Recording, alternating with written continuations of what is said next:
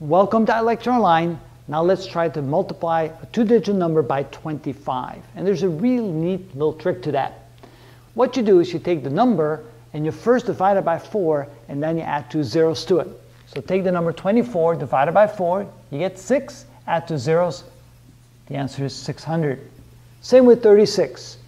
36 times 25, take the number 36 and divide by 4, you get 9, add two zeros, you get 900.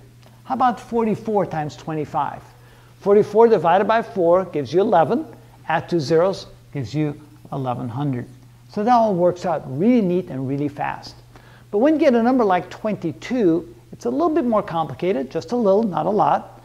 22 divided by 4, what is that equal to? Well, that's actually 5.5.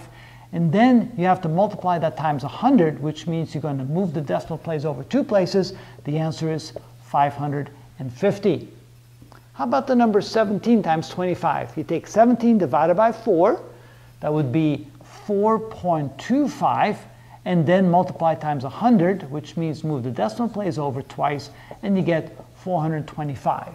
So the way you multiply times 25, you take the number divided by 4, add two zeros, if you can cleanly divide the number by 4, or if you can't like this, you take 22 divided by 4, which is 5.5, Add two zeros, really multiply times 100 means move the decimal place over two places, you get 550.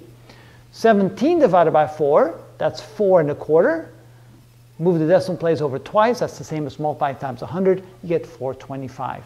That's how we multiply very quickly in our head a number by 25. Divide by 4, add two zeros, or divide by 4 and move the decimal place over twice. And that's how we do that.